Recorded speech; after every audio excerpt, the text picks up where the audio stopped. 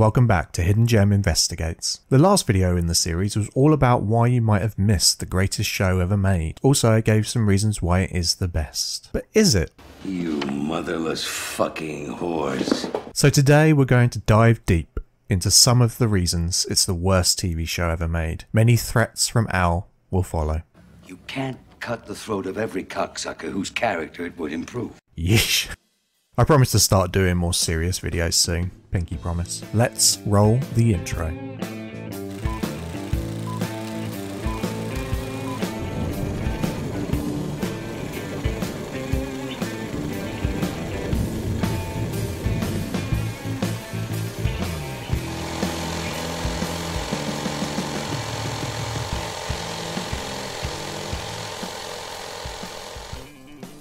No law at all in Deadwood. Them was get acquainted prices. You can help your delicate sensibilities by turning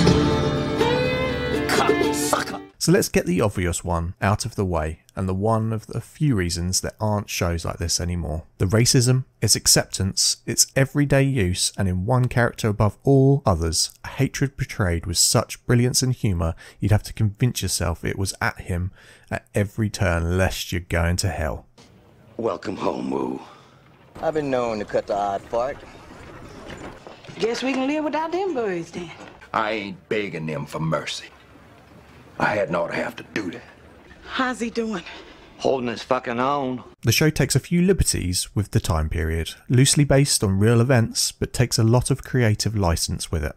The main thing being naughty swears, which you can catch in the shorts on Hidden Gem. Should be 31 videos up now. Hope you'll enjoy the ending. But the racism is pretty accurate for the time. The fuck could we do without you, EB? Be fuck! you! Pretty much all of the characters exhibit it, and the few black characters there are have a very real place in a world of that period. Any race not white is marginalised here, and some slur will be used at some point.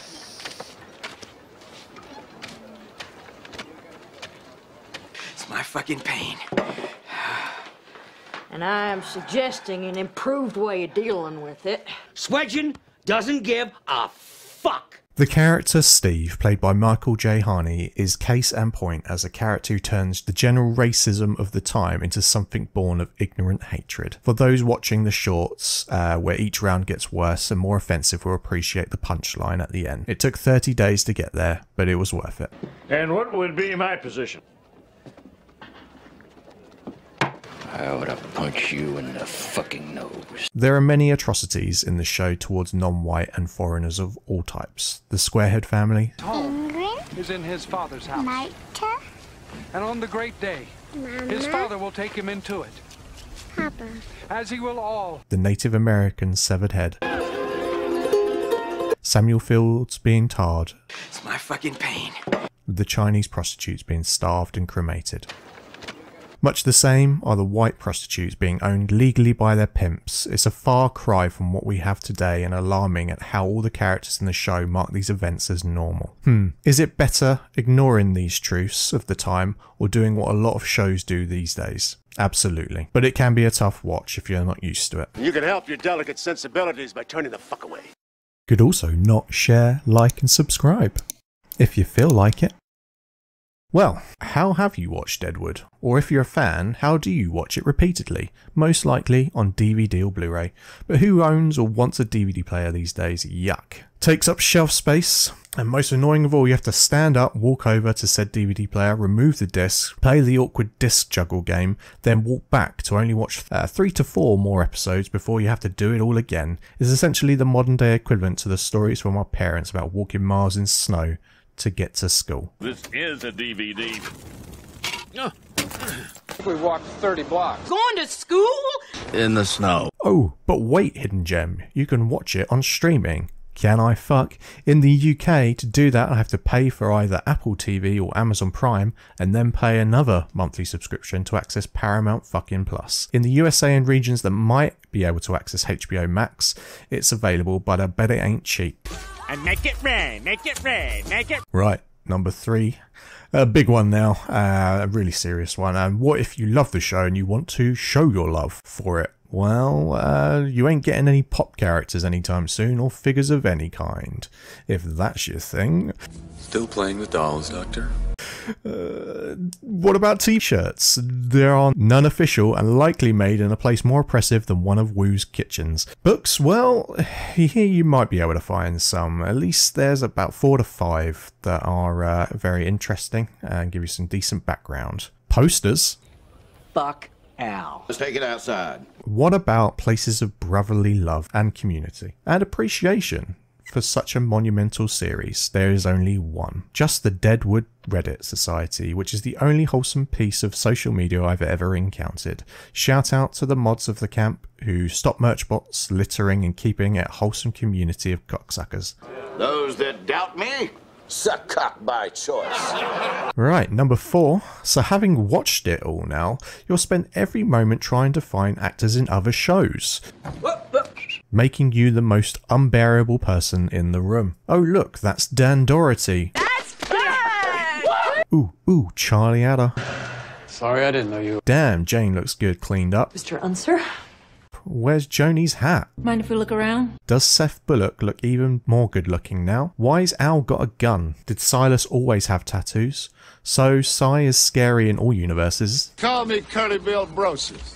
Wait, wait, Dot works for Saruman? Guess he always was a necromancer, digging up bodies. Ill news is an ill guess. If anything, I am robbing the grave. EB has Benjamin Button's disease, uh, or the opposite. This is my savior, J.F. Sebastian. Uh, Hearst would chop off his own foot for the colour. Langrishe clearly became a famous actor after Deadwood, as he's been in everything from around 1300 BCE E to 300 years from now. If Troy falls, Mr. Stryker? Senator Kelly. And why is Nucky's dead wife Alma? A third term congresswoman. And if you really want to annoy people, just put on either Justified, Ray Donovan, or Son of Anarchy. It's basically a game of Deadwood Guess Who. Number five, uh, it was cancelled, so there are major spoilers ahead. And, I mean, in all cases, surely it ended before its time. It's never just for one reason.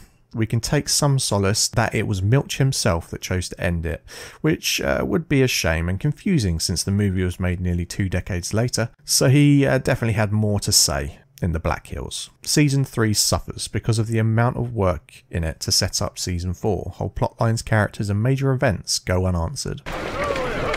I am barely speaking to you. He is close to the end. isn't he? Yes! Belligot! And I won't make others sick. No one gets out alive, Don. To some, this means season 3 is the weakest. Now, having watched the whole thing over at least 10 times, probably more, I have a lot of love for it, uh, which makes me even more sad there wasn't more. When making notes on the whole series, finding ideas for videos, great quotes, and clips, I was surprised how many there are in season 3. Uh, there are so many great moments, maybe too many. Less is more sometimes, I guess. So, in conclusion, uh, so, so, so there we go. A nonsense video really explaining why Deadwood is still the best show. Uh, I'm sorry, not sorry. Suck it! Um, and I want to say a big thank you to all my new subscribers, uh, all the new views on the channel, uh, for joining me on the live stream last Sunday playing Red Dead Redemption to celebrate 100 subscribers. And thank you to the Deadwood Reddit community and the mods and all the people uh, that got me here. So see you next time on Hidden Gem.